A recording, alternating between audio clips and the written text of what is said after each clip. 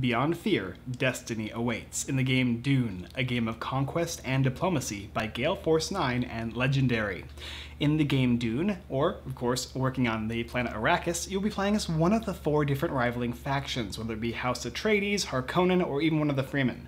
And your objective is to control areas on the board. And if you can't do that, and nobody can do that, by the end of the game you'll add up your points and whoever has the most, being the spice. The spice, of course, is life. Utilize your characters well during battle, and of course your forces during the round to avoid sandstorms, worms, and of course gathering spice on the planet Arrakis. Arrakis. Will you be able to succeed in this modular epic board game? Find out as I talk to you about setting up, how to play, and of course my review for the game Dune. The setup for the game of Dune is very simple. Go ahead and take the board and place it in front of all players. Then take all the spice and put it in the spice bank. Set aside the round token and the phase token. Place the round token on one and the phase token will be on the storm. Then give every single player a player card or player board, as well as their leaders and their reserve stock, and place those tokens in that area. It will tell you how many forces and how many leaders you get on your player card. Additionally, give every single player spice, and that spice is also going to be designated based on your player card as well.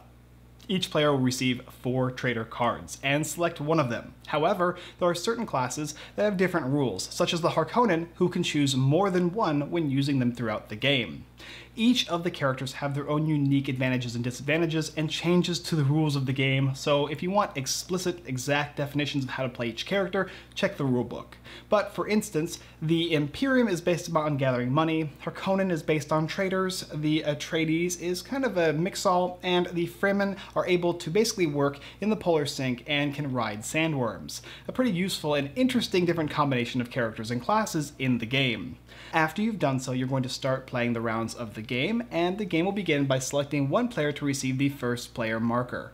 The first phase of the game is the storm phase, in which a player, the first player, will roll this die here. This is the storm die.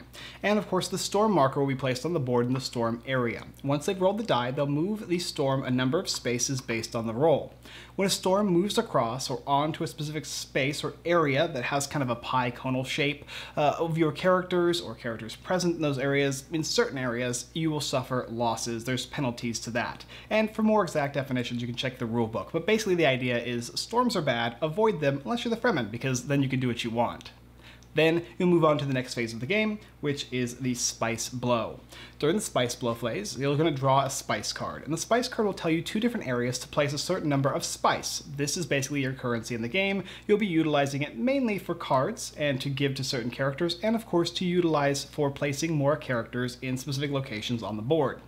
After you've done that, place it on the bottom of the deck and move on to the next phase. The next phase of the game is the gain cards phase. Each player will receive a certain number of battle cards. These will help you throughout the battle and kind of like rock, paper, scissors conundrum, as well as, of course, cards from the market deck, which you can pay for. And if there's a certain character in the game, which I believe is the Imperium, you'll have to give them a certain amount of money in the game in order to gather cards. But whenever they buy cards, they have to buy it from the market or from the deck.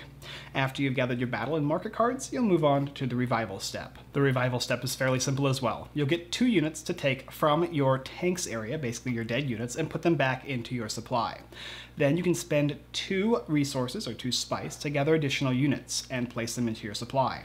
If you lose leaders, you're going to have these little circular characters that you'll use during battle. You can spend their cost to put them back from your tanks into your reserve. These guys are going to benefit you in battle and give you a higher value at the end of the battle in order for you to win combat. Once each player has had a chance to basically gather their units back, you'll move on to the next phase, which is the shipping and moving phase. Shipping and moving is very simple. Basically, you'll spend as much spice as you'd like, and when you do so, you'll gain that many characters, or that many of your, I should say, reserves, your forces, and you'll place them in any area on the map. Then, after that, you can choose any one of your pool of characters in a specific given location to move up to three spaces. Once you have done that, placed and then moved any, you can even place and move the same one, you'll pass turn and each player will do that as well basically paying for units, and then of course placing them down and moving them. The next step is the battle step, and how battle works is fairly simple. Basically, if ever two factions are in a given area, and only two can ever be in one given area, there's going to be a battle. And battle will take place from turn to turn, starting with the first player in any of their battles, following along to the next player. Battles will use these boards here. These are the battle wheels here. Uh, battle wheels will indicate the amount of forces that you're going to be having um, basically on that space, as well as if you'd like to use one of your leaders to place down here, and of course battle cards. You're going to be able to use a weapon um, as well as a defensive item. So for instance, I can use a pistol and a defensive uh, poison, and the other player will do the same. And that has potential benefits, basically allowing you to destroy your opponent's leader, or basically protecting your leader from an opponent's attack. They're basically rock, paper, scissors cards. Additionally, after the battle uh, positions have been chosen, how many forces, and your leader, you'll reveal them, and you'll reveal the weapons, and if your opponent's revealed any of the traitors that you have in your hand, like for, for instance, if I was playing as a Harkonnen and maybe perhaps Atreides was utilizing this general here, uh, Thufir Hawat, and this is a 4 general, that I can declare that this general was actually on my side as a Harkonnen traitor, in which case I would win the battle. So these are instant victory cards, but you only have so many of them if you're not playing as the Harkonnen, whereas if you're the Harkonnen, you're going to have more uh, traitors. And additionally, during each round at a certain time in the game, you can actually trade out traitors to kind of uh, benefit you throughout the game. If, however, neither player or none of the players in any of the combats have any traitors, you're just going to pay, place the values out based on whatever it is, your weapons and your defenses, your leader, and of course the amount of forces you have. Tally up those values, and whoever has the most is the winner, defeating the other player. And of course, you'll also lose units as the good guy, and whatever you have left will be what you can use for the spice phase. The spice phase is very simple. How it works is you will check the spice locations on the board, and each location that has characters or forces on them will be able to turn over spice to those players. So for instance, if I was the Atreides house and I had two units on a space that had four spice, each of my units can take two spice from that location, then giving me four spice total. And if I have more units than spice, I take all the spice. If I have less units than spice, I'll leave the remainder. And spice is useful because that's when you can use it to buy stuff like market cards, you can use it to place out forces during the certain phases of the game. It's your general currency for the game, it's what keeps you going. Afterwards, you're going to check for a win.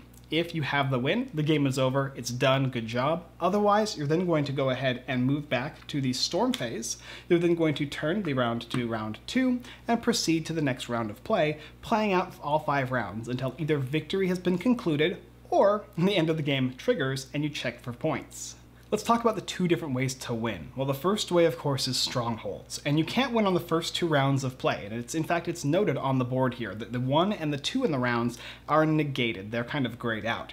But once three, four, and five come along, after that spice phase, if you have at least one unit in three different strongholds on the board, and if you can see the board, there's certain areas on the board that illustrate strongholds. If you have one of the one unit of uh, on each of those three areas, or three areas in total, you win the game but it can only be on rounds 3, 4, or 5. Otherwise, you'll proceed to the next round. The other way to win is pretty simple. At the end of the fifth round, you're going to tally up all your value, all your points, and there's generally a, a, a way in which it's going to happen in the book, which you can go ahead and look up yourself. But whoever has the most points, based on how well you did throughout the game, whether it be in currency or in battle, you will get basically add up those points, and whoever has the most is the winner of the game, Dune. Pretty simple, pretty straightforward, kind of a streamlined game of like Rex or uh, of like the original Dune, but kind of put in place uh, a little, little easier, a little more straightforward, I suppose. But anyway, that's basically how they play the game Dune. All right, let's talk about my review now.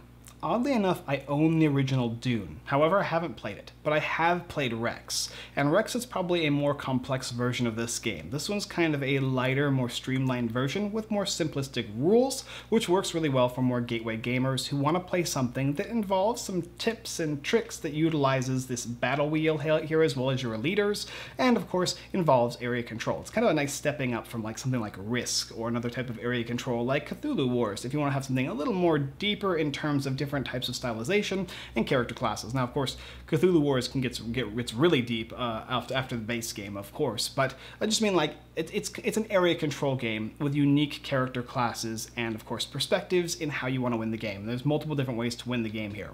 Well, one of the easiest ways to win the game is by gathering strongholds. It doesn't matter about how much you win in battle. Doesn't matter if you have a lot of spice all that's relevant is getting to those locations at the end of the third, fourth, or fifth round, being the only person there in three of the locations and winning. Other classes are probably better at pushing the game forward. Classes that are able to get a lot of money can generate a much better way of uh, succeeding in that way, whereas maybe like something like the Fremen or the Harkonnen are better at just con containing and controlling victory in locations. And you should probably play to the strengths of those classes. My favorite of all of these classes is the Harkonnen. I know they're the bad guys, but I really enjoy playing with the traitor cards and being able to switch them out and guessing what my players are going to be utilizing against me in order to win battles without actually having to spend anything. It's a nice little tactic in order to save your units because everyone's basically spending except for the house that doesn't actually have to spend. And uh, it's always nice to not have to spend, specifically when you only have so many limited resources available to you. I also really enjoy the market deck and the spice deck. There's worm cards that are going to pop out. Uh, the market deck has a lot of value in it, but has a high risk and cost to it.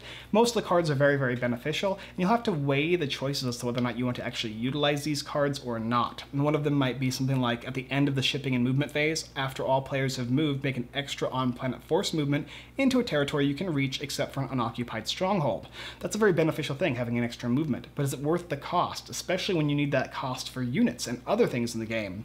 Or perhaps if I need to retreat. If your forces are in battle and they retreat anytime before battle plans are revealed, retreat using your normal movement rule to any one territory you occupy alone, or an unoccupied rock or sand territory, which is beneficial in retreating. That all has to do with battle. There's more complexity to a lot of what I explained. I gave you the basic rundown of how the game is played to kind of move on, because if you really want to get into it, the game is easy to find the rulebook and understand and read through yourself. And it's just little unique, unique intrinsities, intrinsicies, I don't know, for each of the different character classes and what they do. And they all function differently and play very differently, which is a big plus for me. The battle board is very nice. All the components are high quality. Uh, my one main issue with the game thus far is that the board gets bowed. I've only had this game for maybe about a month and a half, and I don't know what it was, the humidity or what. Maybe it's the area I live in, but the board is bowed as all hell. it, it's still playable. Uh, it's just like bent a little bit, and I don't know what causes it, maybe it's my fault, but I noticed that as an issue. Cards are high quality, artwork is very nice, the, planet is very recognizable, you can see where certain spaces are from other spaces. I had a big problem with a game like this called The Evil Dead, one of the games I really enjoy because it's from one of my favorite IPs, just like this one is, but it's hard to tell the difference between one space and another. And this one, it's a lot easier to see the difference, which is very nice. And of course, there's additional tokens and components in the game based on the number of players and to utilize different mechanics and things, which is also a nice touch as well. Uh, traitor mechanic is amazing. The fact that all characters function differently. The quality of the game is excellent, except for maybe the player board, or, the, or I should say the board of the game. And the fact that it's very quick and very straightforward and streamlined is nice as well. I can teach this game in about 10 minutes. We can get into it, and the game is over in an hour if people have listened to the rules correctly and understand the basics. Yes, there's a little bit of technicalities as to what the storms can do, how the market cards function, and when's best to use your players. And of course, you get better as you play the game and you learn about the specific character classes you use. If you go from Harkonnen to Fremen, you might have a different battle strategy and it might kind of change the complexity of the game and how you're going to utilize that class. And it may, may, may make it harder or more difficult for you to understand the game, which is fine though, because that presents a unique new difficulty and a more reason to want to play the game more and more. If you're interested in a game that's about diplomacy, conquests, controlling different areas, utilizing traitors and these unique battle boards, which I've now seen in about three or four games, but they're all based on the same exact, uh, I don't know if it's the same makers or what, but these, these boards are now pretty frequent in those four games. It's the Rex, it's the other Dune, it's this one here, and I think there's one other one that functions kind of like it. I still really enjoy it. I like the flipping flipping them up kind of thing. It reminds me of Cosmic Encounter with a few more steps, which is also kind of fun.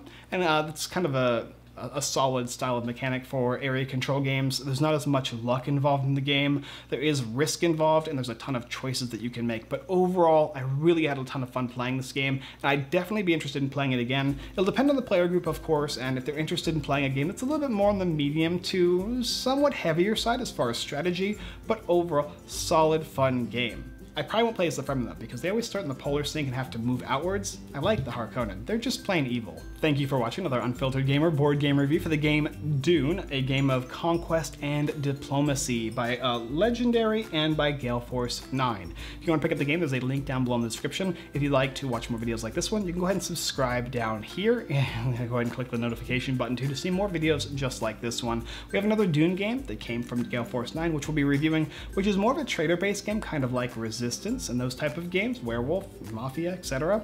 And I will show you that very, very soon. And uh, you can decide for yourself which one you might like more. If you like a game from the Dune universe, though, super fun. Moonshell is in now. We have it in the garage. We're just waiting on the last bits. We need the pins to come in. We need the last trays to come in, and then we're gonna get them on the um, in, in the shipping and going out. I think that the shipping place may have them. I have to go ahead and check, but overall, we're really, really close. No games have been sold. We're waiting for the Kickstarter backers to get theirs first, but I just want to let you guys know that we are still on track for hopefully by the end of the year. That's the goal. Well, maybe before Christmas if we're really lucky, but I don't know. We'll see.